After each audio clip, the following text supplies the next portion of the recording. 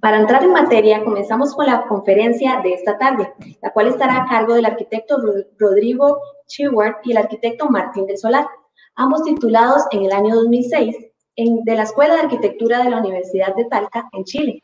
Desarrollan su trabajo desde el ámbito del proyecto como desde la academia, en que la arquitectura vuelve a pasar por el cuerpo y no solamente por la dimensión intelectual. Esta vuelta al cuerpo trae consigo una admiración por un tipo de persona especial, sabia desde la dimensión de la serie y de entender cómo habitar la Tierra de manera justa. Esto creemos, es que, bueno, mencionan ellos que esto creen que es fundamental para la construcción de un tipo de arquitecto, pongan valor al otro. Y antes de decir cualquier cosa desde lo propio, pueda escuchar y entender de ahí en este otro. Esa sabiduría, sabiduría de generaciones que nos pueda decir cómo se hace antes, de, antes del qué hacer este orden eh, de los factores creemos que es importante al momento de diseñar, nos comenta el grupo. Adelante con la conferencia.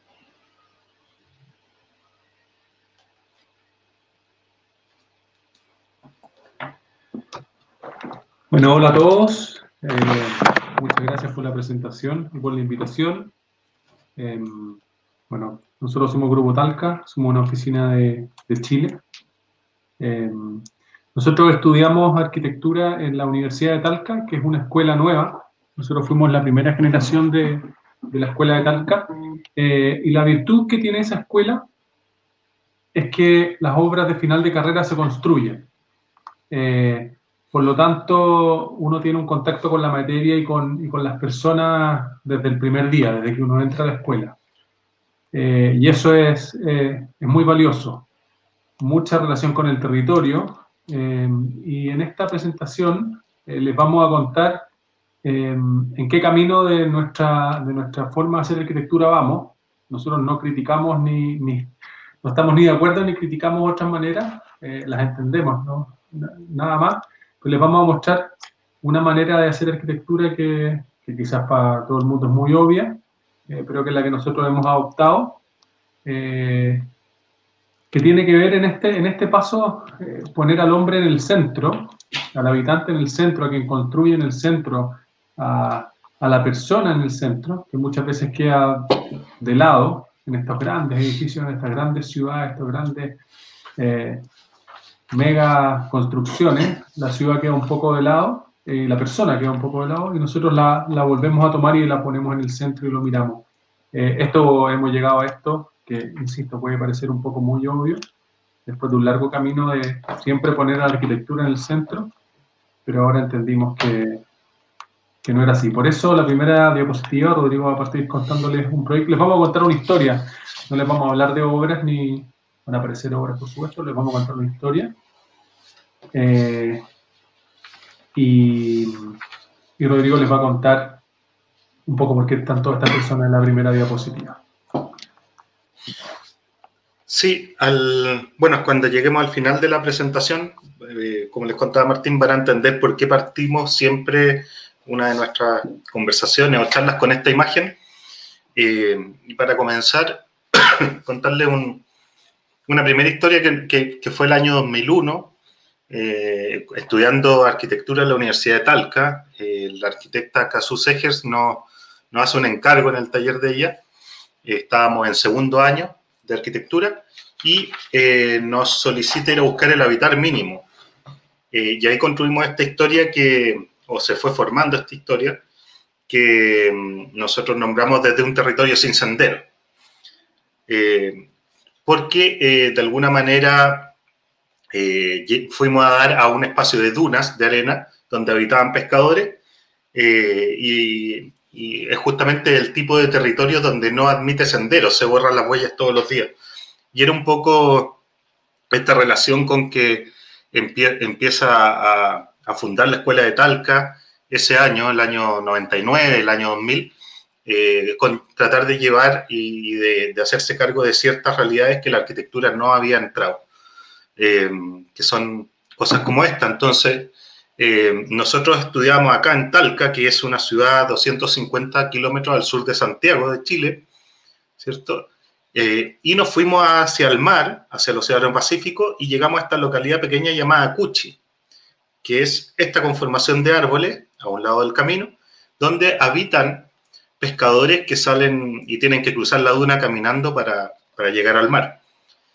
Y esta era la imagen de ese año, es una fotografía aérea, eh, en donde había un camino de tierra y un pequeño camino que llegaba hasta la conformación de árboles donde habitaban. Y lo, lo que veíamos desde el camino era esto, unos pajonales, un humedal, esta conformación de árboles, donde llegaba un camino que nos hacía suponer que habitaba alguien ahí, y la duna y el mar a tres kilómetros. Y lo que nos impactó cuando llegamos fue que, eh, más al entrar en conversación con las personas de ahí, eh, era, era, eran estas imágenes, cómo empezaba a aparecer el énfasis en las manos eh, de esa persona que habitaba el lugar, poniendo el énfasis en el oficio. Este era un pescador que estaba reparando unas redes y, conectando algunas cuerdas. Y en la conversación, él nos invita, en un momento ya cuando entramos en confianza, nos invita a, almorzar. Eh, y cuando entramos a almorzar a su casa, empezamos a ver que las soluciones constructivas tenían que ver con las cuerdas y los nudos y las amarras. Eh, y esto era, era muy bonito porque empezábamos a entender de que había un tipo de persona que, que, desde la herencia de su oficio construía una inteligencia en la mano y esa inteligencia en la mano era con la cual eh, desarrollaba su, vivienda. Entonces, podía a partir de muchas cuerdas de distintos tipos construir una red que soportaba un plástico para proteger unos animales, podía a compresión con dos varas y los pajonales y una amarra, aparte de tener el alambre que se corroía con, la salinidad del mar, tenía una amarra que solucionaba eh, esa techumbre, ¿cierto? Eh, y acá viene una frase que, es de la, de la, Católica Valparaíso, de, una, de otra escuela acá en Chile, que se acuñaba cuando, el oficio rima la acción. Y es cuando el oficio del pescador rima la acción. Entonces, cómo eh, la herencia de ese oficio empezaba a construir su vivienda. Y eso nos impactó en el segundo año de arquitectura, el año 2001, cuando estábamos estudiando. Eh, y eh, dijimos, bueno, acá hay algo impresionante, o sea, cómo, cómo rima la acción y esa inteligencia que esta persona tiene en la mano eh, logra construir su vivienda de alguna manera y su hábitat. Eh, pero había algo más, que era cuando en una de las conversaciones con este pescador nos dice, bueno, vengan una semana más, en una semana más yo voy a ampliar mi vivienda, porque viene una tormenta y después de la tormenta, en siete días más voy a tener una cantidad de materiales en el borde del mar que el mar me va a devolver eh, y con eso podemos ir a seleccionar los materiales para hacer mi vivienda, la ampliación que necesitaba. Bueno, ¿qué nos estaba diciendo él? Que la tormenta va a chocar con la cordillera de los, de los Andes, acá. Que eso va a traer crecidas de ríos, van a arrastrar materiales del ancho de Chile que pasa por todos estos pueblos y que, tal como la cordillera erosionada eh, deposita grava y la arena en el Valle Central y en, la playa, y el viento suroeste y la corriente de Humboldt construyen este, territorio dunar, era que los materiales que le, que le quitaba a Chile la corriente de Humboldt, que es en dirección sur hacia el norte, y los vientos predominantes suroeste, le iban a depositar en, esta playa. Ahora, él no sabía ciencia, pero lo que nos estaba diciendo es que entendía muy bien los cambios de presión, no tenía un barómetro, ni tampoco eh, sabía qué es lo que significaba la corriente de Humboldt, pero entendía muy bien las corrientes del mar. Entonces, esto es una vista desde Argentina hacia Chile, hacia el Océano Pacífico.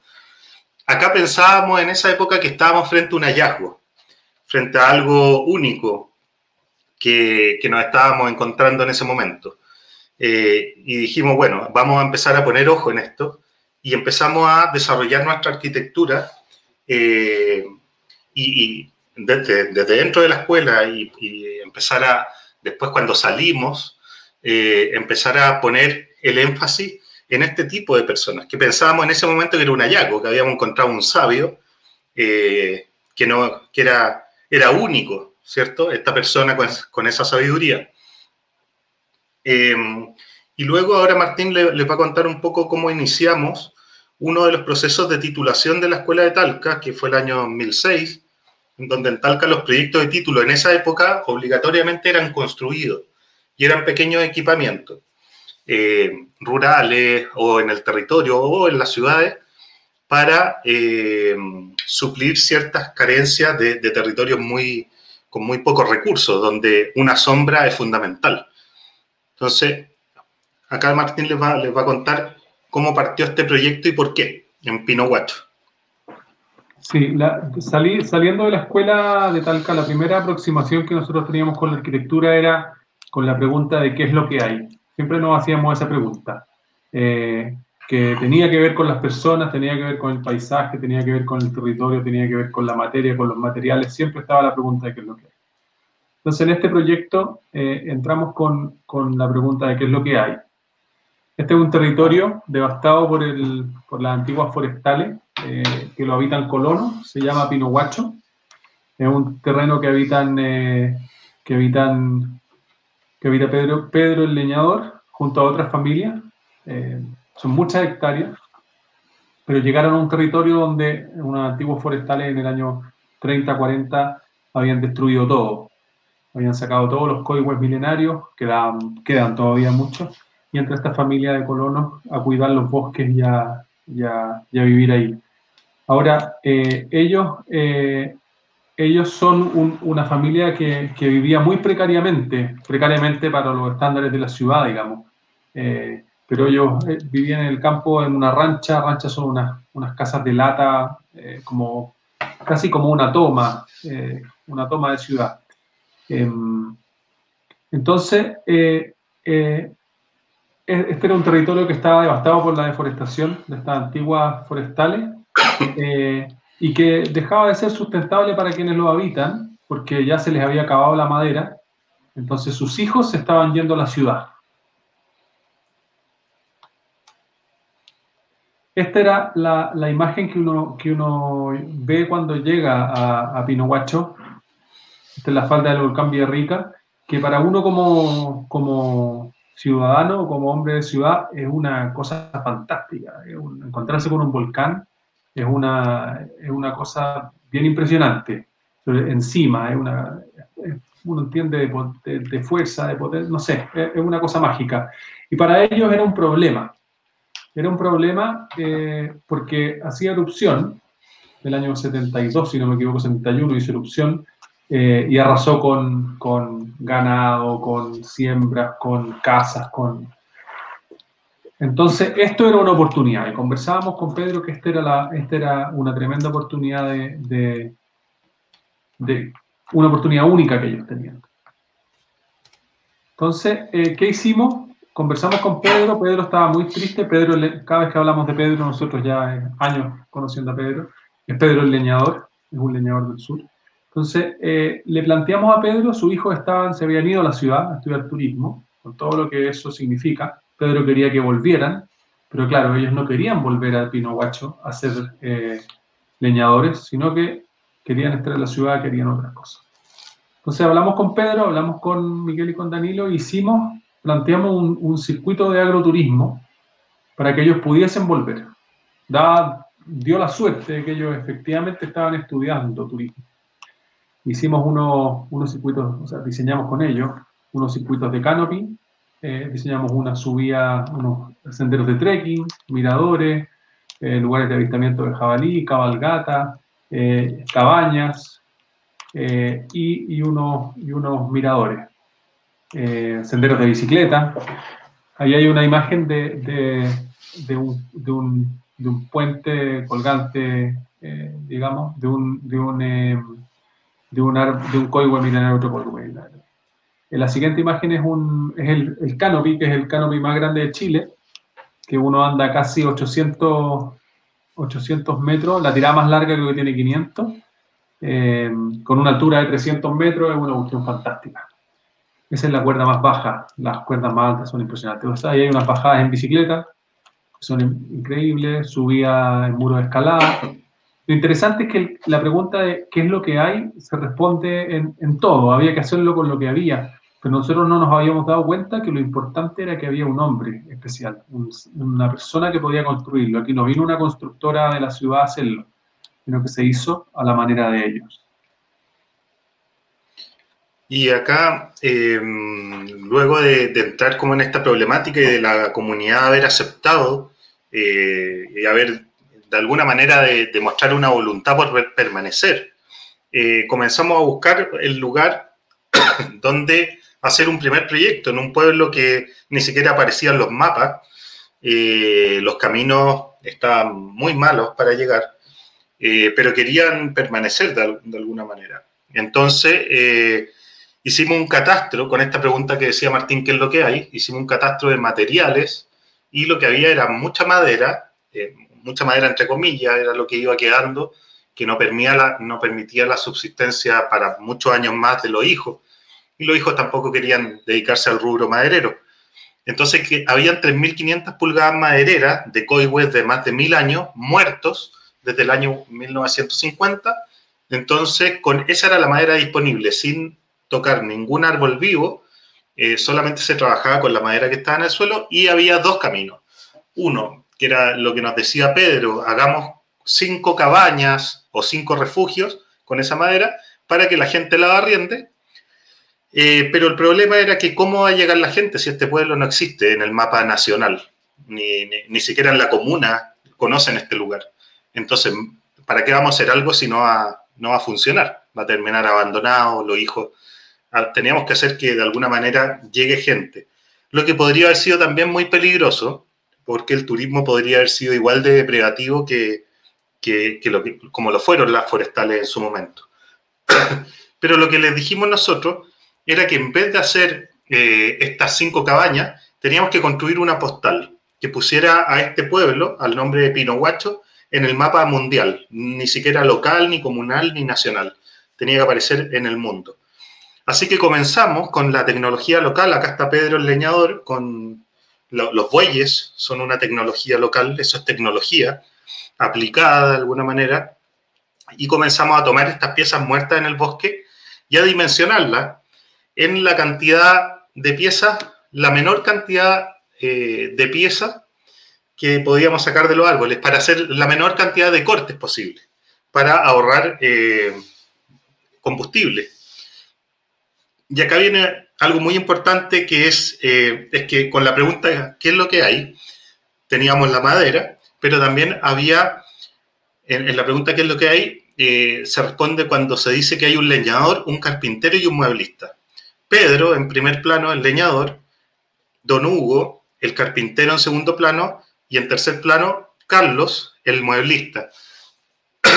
Cada uno con su dimensión. El leñador podía tomar estas grandes piezas con los bueyes del bosque, dimensionarlas junto al carpintero, quien también las dispone una al lado, de la otra para esta obra, y el mueblista era el que podía hacer la perforación perfecta sin necesidad de un taladro, de una boroca ni electricidad, porque acá no teníamos. Ni siquiera podíamos poner un motor, porque no había plata para un motor, ni para comprar el combustible para ese motor. Así que había que hacerlo a mano.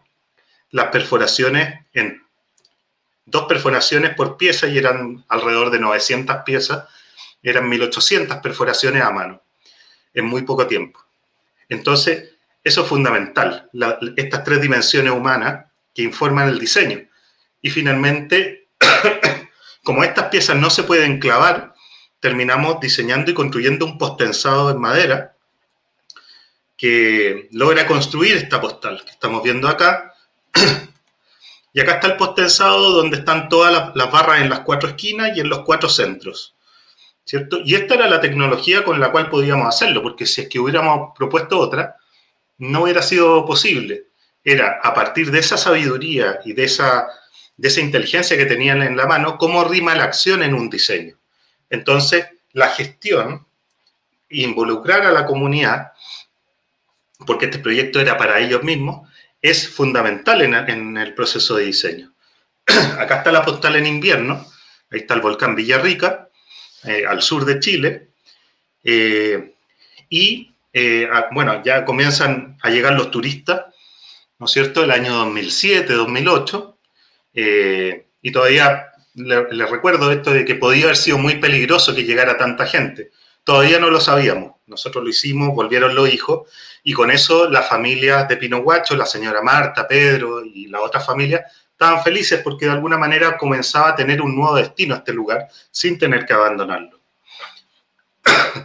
Hasta que el año 2009 Martín le va a contar una segunda historia traslapada a esta, mientras comienzan a llegar los turistas, eh, recibimos una llamada en febrero de Pedro, de la gente de Pino Guacho. Sí, e, e, era bien interesante esa llamada porque eh, Pedro, no, Pedro el leñador nos llama eh, por teléfono y nos dice, él a nosotros nos dice guacho, bueno, todo el mundo le, dice guacho. Eh, mi guacho, tengo, un, tengo noticia. Nosotros pensamos, ¿qué habrá pasado? ¿Se habrá caído el mirador? Se, no sé. y nos dice, no, llegó un funcionario municipal un funcionario del ayuntamiento de Villarrica, acá le decimos municipalidad, no sé cómo le dirán en, en, otros lados, sé que en España es ayuntamiento, eh, llegó y me, Pedro dice, llegó un personaje municipal eh, y nos, me ofreció un proyecto eh, y una cantidad de plata, me ofreció un proyecto y, y creo que eran 6 mil dólares para construir un equipamiento para recibir a los turistas porque los turistas están preguntando mucho en, la ciudad de Villarrica cómo llegar a Pinohuacho, eh, y usted me han dicho que usted lo recibe en su casa. Entonces, entonces, nada, le traemos este proyecto con esta plata para que usted, para que usted lo pueda construir, don Pedro. Entonces nosotros le decíamos, pero Pedro, ¿y qué, cosa, qué le dijo usted al funcionario municipal? Le dije que tenía que consultarlo con mis arquitectos. Entonces, eh, cuando un leñador del, sur de Chile perdió en la mitad de, la cordillera de los Andes, sin señal de celular, sin nada, le dice a un funcionario municipal que le trae un proyecto, eh, te traigo un proyecto, eh, y, el, leñador le dice, tengo que consultarlo con mis arquitectos. Nosotros con Rodrigo nos reíamos y nos, imaginábamos la cara del funcionario municipal cuando el leñador le, dijo eso, cuando Pedro le dijo eso, porque Claro, si a Pedro el leñador le duele un brazo, eh, va al doctor, va al médico. Si le duele una muela, va al dentista y si tiene un problema legal, llama a un abogado. Pero si tiene que construir, no llama a un arquitecto. Si el funcionario municipal debe haber pensado que tiene un arquitecto, no sé, en Nueva York, quizás que no imaginábamos de su cara. Eh, entonces nosotros le dijimos, no, no, pero Pedro, Pedro, eh, dígale que sí, pues. No, no, sí, tampoco, Pedro decía, no, no, tampoco le dije que no, no rotundo, dijo que le acepto la plata, pero el diseño no.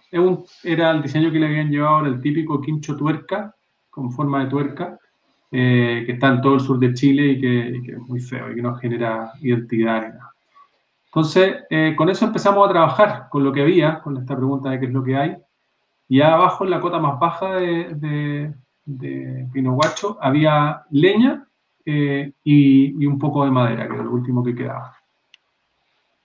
Hay un video que, luego les vamos a, al final les vamos a dar el link eh, para que lo puedan ver y, si no está en YouTube o en nuestra página, eh, en el proyecto del, del, del quincho.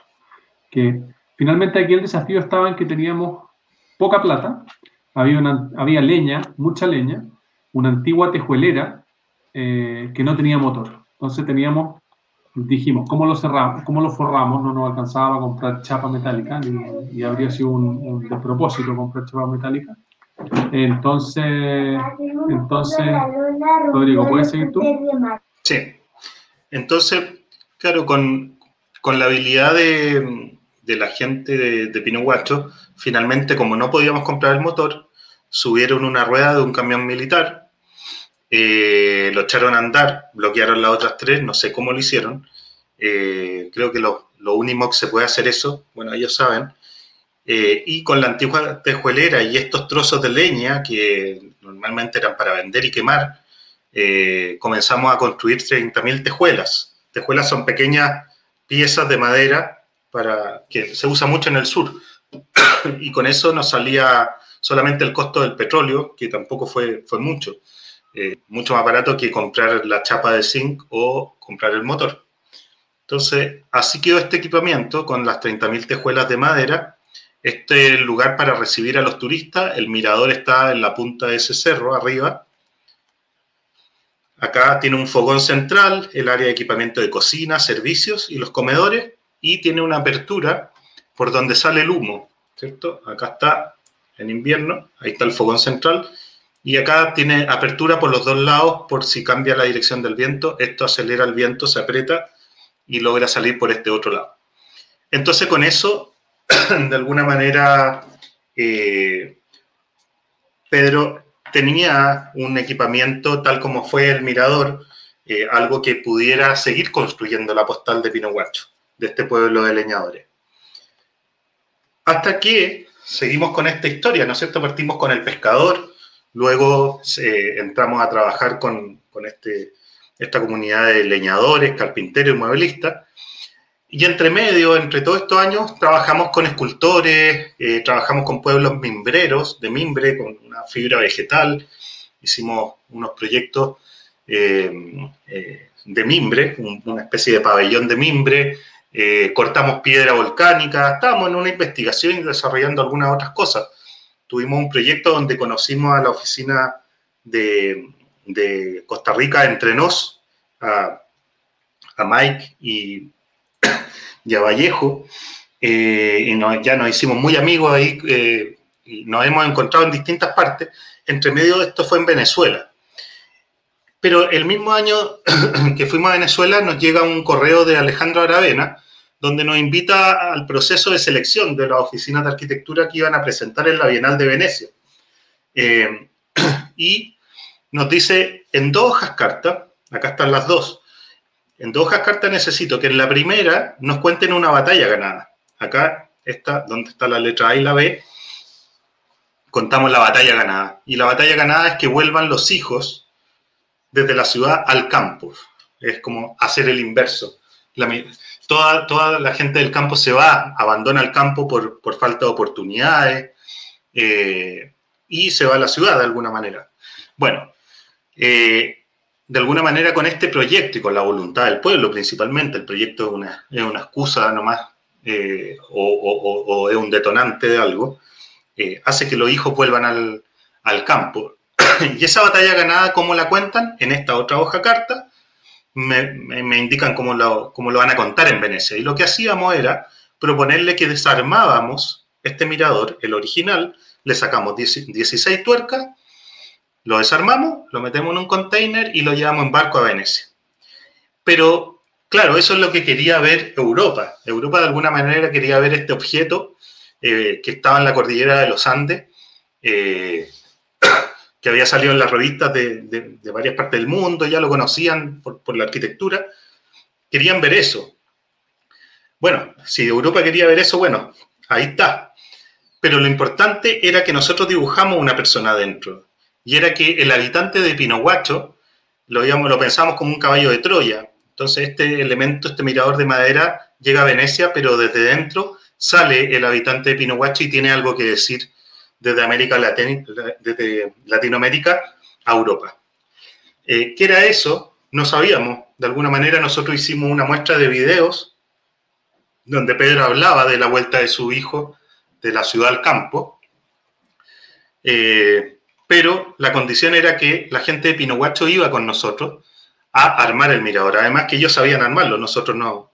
Estábamos en el proceso constructivo con ellos, pero ellos tienen la fuerza y la técnica, o sea, tenía que ser así. Y finalmente nos llega un correo diciendo que habíamos quedado seleccionados entre los 88 participantes de la, de la muestra de la Bienal del año 2016 y tuvimos que ir a contarle a este personaje, a Pedro, Pedro el leñador. Él es Pedro, eh, esta es un extracto de una imagen que se mostró en, Venecia, de cuando se le hace una entrevista a Pedro y cuenta su historia, y tuvimos que contarle, y cuando fuimos a Pino Guacho, bueno, nos, le decimos, Pedro, tenemos que ir, tenemos que desarmar el mirador, y nos vamos a Venecia con el mirador. Lo vamos a meter en un contenedor y nos vamos. Eh, bueno, él, accede, de alguna manera, siempre creyendo. la gente del campo todavía cree en las personas, en la ciudad ya todos nos andamos defendiendo de todos. Un poco ahora con esto de la pandemia también eh, lo que ha habido últimamente y antes de la pandemia incluso, si la crisis que ha habido es una crisis de confianza. Eh, pero en el campo todavía no, eso no pasa. Y esos son grandes valores que uno puede encontrar fuera de la ciudad. Eh, y la pandemia ya lo ha exacerbado, o sea, ahora ya andamos con mascarilla y no tocamos a nadie. Crisis de confianza. pero se va más en las ciudades, uno va al campo y sigue la vida más o menos igual. Y nos dice que sí y comenzamos a desarmar este mirador con una estudiante en práctica, que su práctica fue etiquetar todas las piezas, marcarlas, desarmarlo. Ahí está el contenedor. Y esto es lo que quedó. Esto, esta, especie de arco de fútbol con, con las fundaciones. Y se fue el contenedor en un barco y llegó a Italia. Y nos fuimos nosotros también con Pedro y Carlos. Eh, le ofrecimos, queríamos que vaya Pedro y la señora Marta. Eh, la señora Marta no quiso porque dijo que ella se quedaba con sus animales porque quién lo iba a cuidar y no quería viajar. Pedro, que nunca había salido de Chile, nos dice que sí. Eh, primera vez en avión, 15 horas, y va con su hermano Carlos, que es el mueblista. Ahí llegamos a la Plaza San Marcos y en un momento Pedro ya un poco desesperado, eh, lo que hace es que eh,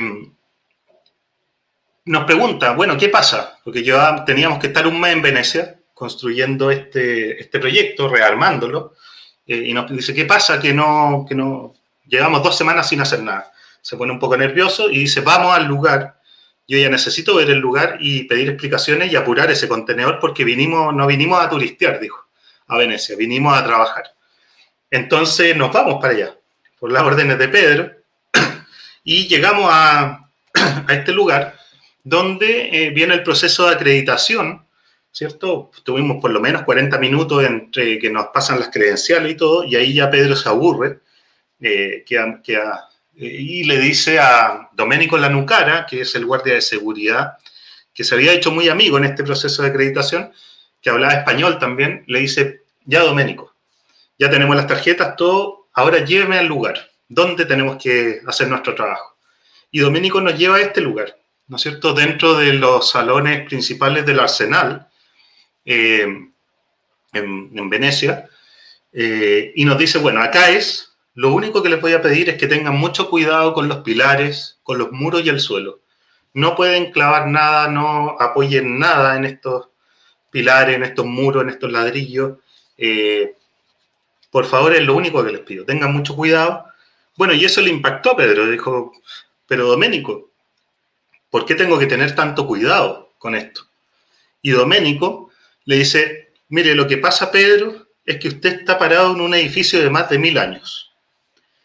Y Pedro empieza a recorrer la mirada al edificio completo y le dice a Doménico, ah, Doménico, Así que ustedes tienen edificios de más de mil años. Yo tengo un volcán de millones de años. Y nosotros estábamos un poco más atrás, siempre nos eh, dejamos que estas conversaciones eh, fluyan y, cuando, y, escuchamos. Y cuando escuchamos esto, de alguna manera se nos puso la piel de gallina y sabíamos que había algo muy importante, había un mensaje de Pedro, eh, este leñador de la cordillera de los Andes, que, nos está, que le estaba diciendo a Europa, de alguna manera. y lo, entendimos un año después, que nos quería decir, cuando nos cruzamos con algunos, algunos textos, eh, alguna entrevista de Gastón Sublet, un filósofo, eh, teólogo, musicólogo, eh, historiador chileno, que cuenta que cuando llegan los quechuas a la altura de la ciudad de Talca, donde nosotros partimos esta historia contándoles donde estudiamos, llegan al río Maule, se enfrentan con los con, los mapuches, uno de nuestros pueblos originarios en Chile, que todavía están presentes en la, zona sur, eh, y no logran vencerlos. Y los quechuas finalmente eh, tenían una diplomacia no violenta, eh, tenían batallas, pero tenían una diplomacia no, violenta, preferían entrar en diálogo, y convencen a una delegación de loncos mapuche, que son las, las cabezas, los jefes, que visiten el Cusco. Y van, y los acompañan. Y los quechuas querían mostrarle esta civilización y decirle, es conveniente que se unan a nosotros.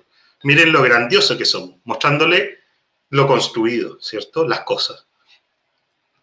Y los loncos ven esto, pero vuelven, ven esta ciudad de piedra, ¿cierto? Pero vuelven convencidos, vuelven al sur de Chile, convencidos que lo de ellos era mejor. ¿Y qué era eso mejor si no tenían nada? El pueblo mapuche no tiene nada, no tiene ciudades. Tenía pequeñas construcciones. Eh, la ruca mapuche es su vivienda y puede desaparecer en dos años si es que se deja ahí, porque está hecha de madera, de ramas y de, fibras. Em, ¿Qué era eso que defendían los mapuches? Eh, primero, ellos estaban convencidos de que ellos defendían el paraíso. Eh, y si uno ve estos volcanes, que eran estos mismos territorios que, de los que habla Pedro, uno puede entender un poco de lo que están defendiendo. Pero lo principal, ¿cuál era la más grande creación mapuche? Es que habían construido un tipo de persona especial, que había puesto el énfasis en las personas y en esa persona en relación al entorno y al medio, ¿no es cierto? Esa persona puesta en relación al volcán, a los árboles, a los animales, y, había construido un tipo de persona que habita en el orden natural, esa era la más grande creación mapuche, que había puesto el énfasis en las personas y no en las cosas. Y esto era lo que nos estaba diciendo Pedro, pero Pedro no es mapuche. Entonces nos estábamos volviendo a encontrar con un hallazgo, como el pescador de, de Cuchi, del, del inicio de la presentación. Y nos empezamos a dar cuenta eh, claro, Pedro nos dice, bueno, ustedes tienen cosas, ciudades, se han destruido y vuelto a construir, pero acá si muere la persona, no hay civilización, no, hay, no queda nada. Eh, de alguna manera está hablando del espíritu, del espíritu, de, algo más allá que lo material. Eh, y eso, y Pedro no mapuche, es colono, pero ha habitado siempre en relación y en el orden natural. Entonces no es patrimonio solamente de nuestros pueblos originarios, sino que es, patrimonio de los habitantes de nuestros pueblos rurales de Latinoamérica. Y eso creemos que es una de las más grandes enseñanzas que por lo menos a nosotros nos ha situado en la arquitectura. Y en vez de estar, en un momento decíamos, bueno, nosotros hacemos arquitectura con lo que hay. Después de seis años dijimos, nosotros llevamos la arquitectura donde la arquitectura no llegó, a los leñadores, pescadores, pero era seguir poniendo la arquitectura en el centro. Luego de esto nosotros entendimos que lo que estábamos haciendo desde el primer día era ponernos a un costado de un tipo de persona especial y escuchar. Y ahí entendimos cuál era nuestra principal eh, estado corporal frente a la arquitectura o desde la arquitectura frente al mundo. Era primero entrar desde lo receptivo y no desde lo creativo. Porque si somos absolutamente creativos, sin ser receptivos podemos destruir todo. Si somos absolutamente receptivos, detenemos todo. Tiene que haber un equilibrio, pero creemos que ese equilibrio entre lo receptivo y lo creativo tiene un orden, y es la entrada receptiva. Al haber ido escuchando eh, estas, estas palabras sabias de, la gente del campo. Bueno, y ahí viene ahora el... Eh, se arma esto, llega a Venecia, se arma, ¿cierto? Ya no con bueyes, sino con una yale, con una máquina, Ahí está la nueva postal de Pinohuacho en Venecia, ¿cierto? Y esta imagen ahora la tiene el alcalde en, su oficina. Tiene la imagen de Pinohuacho frente al volcán y de Pinohuacho en Venecia. Y pasó a ser un punto muy importante de turismo. Pero, pero acá viene una clave que es cuando les decía que podía ser muy peligroso.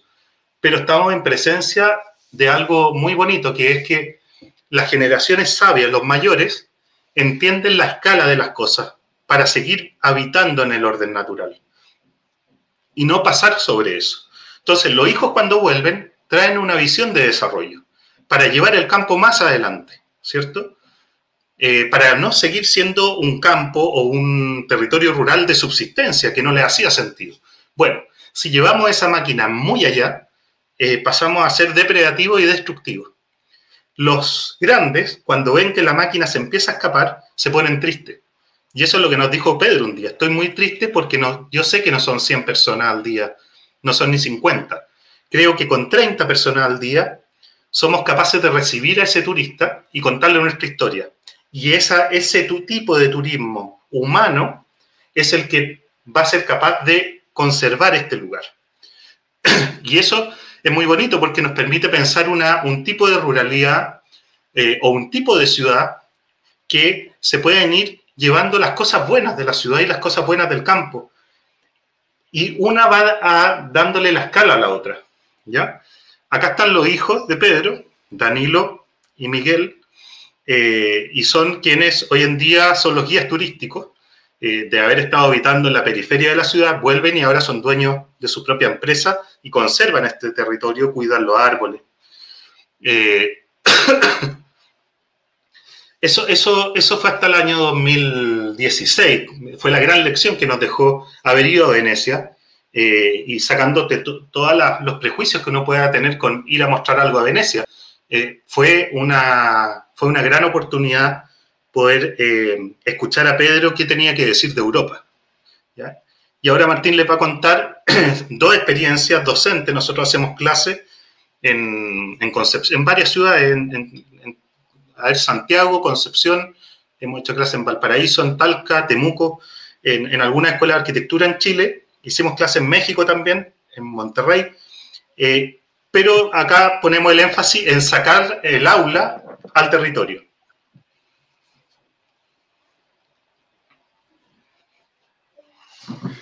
Esta, lo que les vamos a mostrar ahora es una, experiencia eh, que hicimos en la Escuela eh, de Arquitectura de la Universidad en Desarrollo en Concepción. Concepción queda a 600 kilómetros de Santiago, de Chile, hacia el sur. Eh, es la segunda ciudad más grande de, Chile. Em, y aquí Miguel Nazar, nuestro director, funda la escuela, refunda la escuela Sur-Sur em, y nos invita a participar y en esta invitación a participar, eh, a nosotros nos parece que, como les contaba Rodrigo, la, enseñanza de arquitectura tiene que, tiene que ser eh, eh, extramuro, digamos, tiene que ser afuera, tiene que ser, tiene que ser padeciendo el conocimiento. El conocimiento tiene que pasar por el cuerpo, tiene que encarnarse. Para eso hay que padecerlo. bueno, aquí se junta todo tercer año de la escuela eh, y nos vamos a, algún lugar a construir. En este caso nos fuimos a, Chiloé. Eh, y en Chiloé nos fuimos a San Juan, que es una, un pueblo muy pequeño de, de, carpinteros de Rivera. Carpinteros de Rivera son los carpinteros que hacen, los carpinteros que hacen botes, que hacen embarcaciones eh, de madera. Y, y, fuimos a aprender de ese oficio, entendiendo que, que hay un hombre especial que, nos puede enseñar cosas y que, y que, tiene una manera de hacer, más que llegar nosotros eh, con un platillo volador de hormigón o de vidrio o de lo que sea, que, muchas veces los arquitectos lo hacemos, creemos que sabemos todas las respuestas, en realidad somos una, una gota más dentro de todo el sistema. Eh, y fuimos a escuchar, eh, a escuchar cómo se construía con madera, qué nos podían enseñar estas personas. ahí nos están dando una clase de cómo de cómo se ensamblan cuadernas eh, y un montón de, de, piezas de, de, madera para construir un bote. Ahora, la idea era reinterpretarlo, entenderlo y no hacer el típico bote dado vuelta, eh, como cubierta. Ya a la manera hicimos un mirador, eh, también con la pregunta de qué es lo que hay. Había madera de tepa, luma, que es otro tipo de, de madera. Y con eso hicimos un mirador que que estaba al frente del pueblo y que, y que enfocaba o que miraba la, la, la iglesia, em, el cementerio y también miraba los, eh, los, estos, estos, lugares donde, donde construían los botes. Eh, y la manera fue con motosierra, como lo hacen ellos, eh, con los ángulos que ellos dan, con las uniones que ellos usan, y con eso logramos construir este, este, este mirador que, se llama Cookie Will, y extrañamente, al igual que en todas nuestras obras, eh, los planos salen después. Nosotros en realidad llegamos con planos a mano y qué sé yo, pero, pero no llevamos con planos acabados ni, ni cosas paramétricas, ni, sino que la gran mayoría de las decisiones se, se van tomando en obra. Y ahí, bueno, anécdota con Rodrigo, siempre vemos estas fotos de arquitectos antiguos, Frank Lloyd Wright o qué sé yo, que están siempre en obra tomando un pasamano, apuntando con su bastón o tomando decisiones en obra. Yo creo que eso también hoy día se ha perdido en la arquitectura. Un arquitecto llega con su plano en 3D y paramétrico y con todo solucionado, eh, y muchos arquitectos van poco ahora, y ahí creo que se pierde una oportunidad fantástica de poder tomar decisiones. Eh, en fin.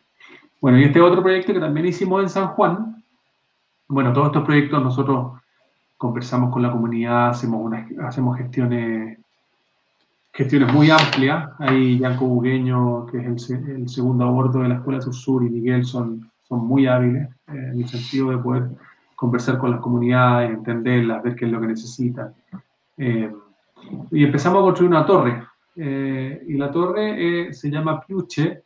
Esta es una historia de que, de que sabía, tiene ese nombre por, por, por Chiloé está lleno de mitología y de, de mitos y leyendas, digamos y cada uno de estos nombres tiene que ver con una, con una con unos mitos y leyendas. Después del tiempo los pueden buscar ustedes porque son muy, muy entretenidos. Hay muchas.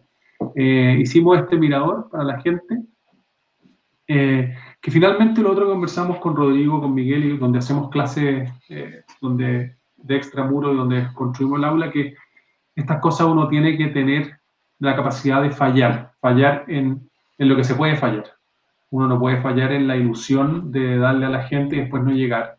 Pero sí uno puede fallar en si, si una tabla queda un poco más larga, un poco más corta y no presenta ningún peligro, no hay ningún problema. Entonces, como son ejercicios académicos, hay que tener la posibilidad de fallar.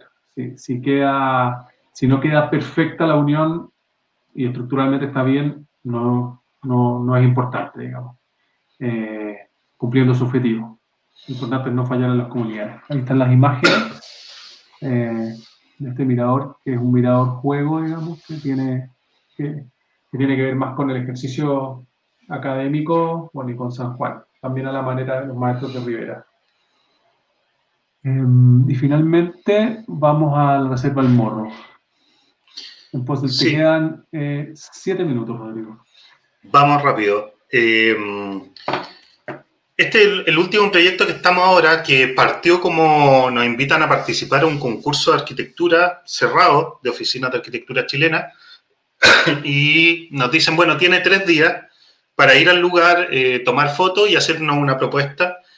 Y esa era la primera condición que no nos hacía sentido. Y la segunda es que eh, hay un buen premio y ustedes llegan hasta ahí nomás. Después nosotros con nuestro equipo de arquitectos seguimos desarrollando el proyecto tampoco nos hace sentido. Así que tuvimos que decir que no, después de 10 años, a nuestro primer encargo, eh, después de haber salido de la universidad. Y era nuestro proyecto soñado. Dijimos que no por convicción de alguna manera, por ser consecuentes a lo que hacemos, porque les dijimos, la única manera de trabajar con ustedes es que por lo menos tengamos que estar, no sé, seis meses, un año, yendo a visita al lugar para conocer a las personas del lugar, para conocer el, orden natural, ¿no es cierto? Toda la riqueza biológica, empezar a, trabajar con biólogos, con, más profesionales para entender estos lugares que son tan frágiles. Eh, y encontrar al habitante local, ¿cierto? Que es el que tiene la sabiduría de haber vivido toda la vida ahí. Bueno, eh, nos dicen, ok, muchas gracias, eh, gracias por la sinceridad, y nosotros decimos, bueno, hasta luego. Y nos dicen, eh, no participamos. Pero nos llaman seis meses después por haber dicho que no y nos citan a una reunión y nos dicen, bueno, de alguna manera hicimos el concurso, no nos hizo nada sentido, de alguna manera lo que, lo que vimos y eh, creemos que puede que, la manera que ustedes nos propusieron sea una manera correcta de, afrontar este territorio. Estos son territorios casi vírgenes en el sur de Chile, eh, son con grandes reservas de agua, eh, de glaciares. Entonces, claro, hay que ser muy responsable. y cuando nos dicen, bueno, vamos y empecemos a recorrer el lugar. Y cuando fuimos al primer viaje nos encontramos con esto. La foto de un piso de madera, de, una, especie de asiento, construido por un matrimonio de leñadores. Ahora ya no era un leñador, sino que era Violeta y Rubén. Y dijimos, bueno, ¿dónde están estas personas? Las necesitamos conocer. Miren la, belleza que han hecho. Esto es una belleza. Eh, en diseño, en estructura, en, es un retazo de pilar con unos listones y una rodela de, de árbol. Eh, ¿Dónde están? Y fuimos a la casa de ellos, que eran unas latas, algo muy sencillo, y encontramos a Rubén. Violeta estaba con los bueyes en el bosque. Y comenzamos el proyecto entendiendo esta riqueza, con esta idea que ya había algo con qué hacer, ¿cierto? Eh, y algo muy potente. Y comenzamos el proceso. Eh, ahí está Violeta y Rubén y su perro, quienes viven ahí, y ellos son los sabios del lugar. Y el, el mandante nos dice, bueno, traigan a Pedro, de alguna manera eh, entendiendo que había también una sabiduría que ya habíamos trabajado con él, y hagan que se conozcan.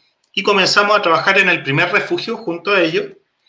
Ahí siempre vienen estudiantes en práctica. Eh, la mexicana que nos ayudó en Pinohuacho, acá está Lisa, alemana, que nos ayudó a construir esto en la carretera austral. Y comenzamos con el proceso de, ya habíamos hecho el diseño según lo que habíamos visto después de un año de visita y comenzamos ya a tomar la madera también muerta del lugar, Violeta y Rubén trabajando codo a codo con Pedro.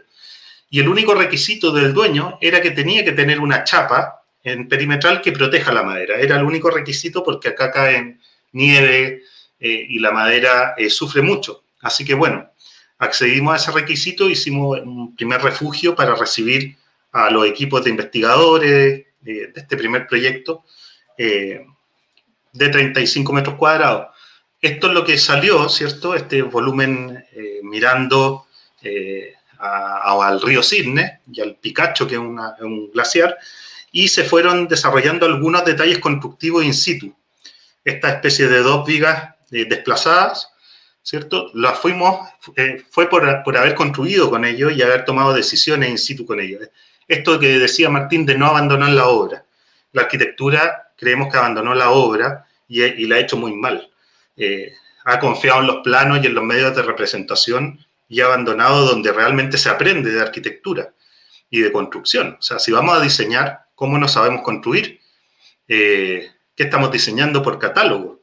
Entonces, eh, terminamos con, con, este refugio, pequeño refugio, duermen seis personas arriba, tiene los equipamientos abajo.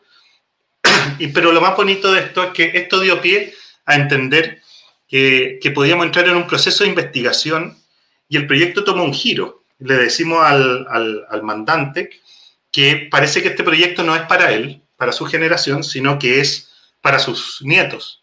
Y le decimos, ¿sabes qué? Acá tenemos la oportunidad, a partir de tener a Violeta y Rubén, y nosotros empezamos a hacer algunos ejercicios ahora de este piso, convertirlo en pilar y en otras piezas. Estamos trabajando con algunas impresiones 3D y empezar a, trabajar estas modulaciones. Y dijimos, ¿sabes qué? Diseñemos una escuela de cómo habitar la Tierra. Eh, y creo que esto es, es, para 50 años o 100 años. nosotros no vamos a ver lo que va a resultar acá.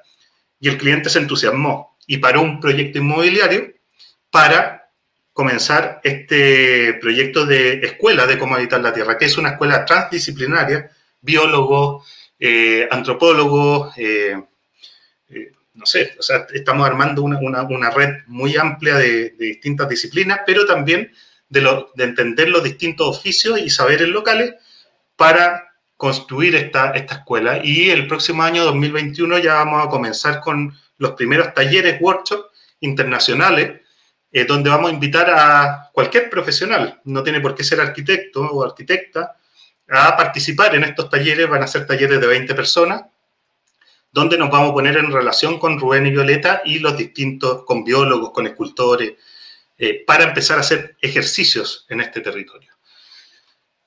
Y para terminar, les muestro la primera imagen con la que comenzamos.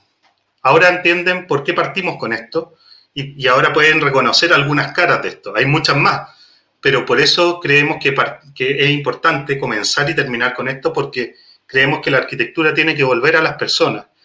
Y, volver a, poner el valor, el, poner en valor a un tipo de habitante. Y, creo que creemos, no sé, esto es una opinión que tenemos con Martín, que debería ser uno de nuestros más grandes patrimonios que tenemos como Latinoamérica, que están en, en todas partes y que no son una excepción y que no son un hallazgo como lo pensábamos el año 2001. Así que con esto... Oye, no estaba Vallejo en la imagen. Eh, no está Vallejo, tenemos que poner a Vallejo. Y... Ahí está Mike. Ahí está Mike, eh, pero falta Vallejo, yo creo que está por ahí. está, está, está escondido. Bueno, y, y, esto nos sitúa siempre a un costado de un tipo de persona para eh, escuchar. O sea, la arquitectura a disposición, entendiendo que es servicio y que debe partir escuchando. Eso, muchas gracias por la atención. No sé si... Creo que estamos en el tiempo ya. Sí, muchas gracias Marilyn. Dejamos a ti seguir. Muchas gracias. gracias. Agradecemos al Grupo Talca por su conferencia. A continuación presentamos un video con información de interés para el gremio.